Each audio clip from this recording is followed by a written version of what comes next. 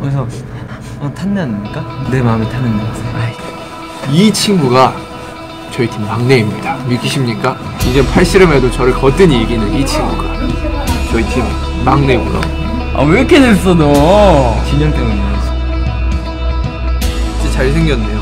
이 잠시 이 사진을 보고 과거를 회상하자면 때는 바야흐로 제가 스무 살 때 지금 스물여섯이니까 세월 많이 흘렀네요. 6년 전, 5년 전인가요?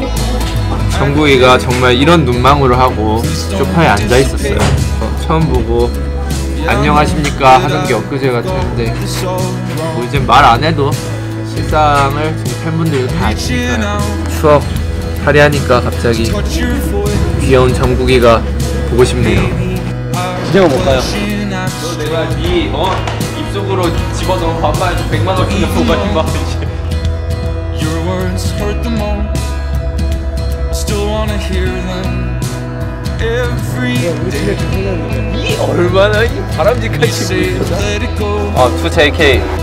JK 안녕, 형이야. 너에게는 항상 감사하고 있단다. 정신 연령이 26살인 형하고 정신 연령이 비슷해서 고마워. 형이 잘할게. 데리고 가렴. 알았지? 형의 넓은 품에 포옥하고 안기려무나. 언제나 팀의 선생님이 되어주고 팀의 활력소가 되어줘서 고마워. 착하고 잘생기고 힘도 세고 몸도 좋고 눈도 크고 노래도 잘하고 춤도 잘 추는 정부가 사랑해. 절대 안 올라가고 앞으로도 옆에서 도움 많이 드릴 테니까 앞으로 잘. 그러니까 보내줘. 형이 말은 그렇겠지만 좋았어.